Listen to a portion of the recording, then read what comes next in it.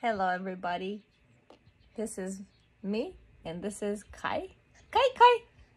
And this is Kalea.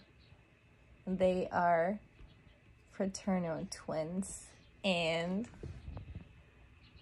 they are my immediate care for now. Like, I'm with them every day.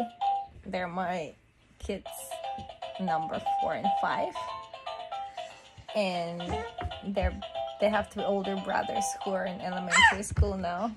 So they're at school right now coming back from a field trip anytime soon. So we're just chilling here with this gym jungle gym thingy. What is it called? Like jungle whatever.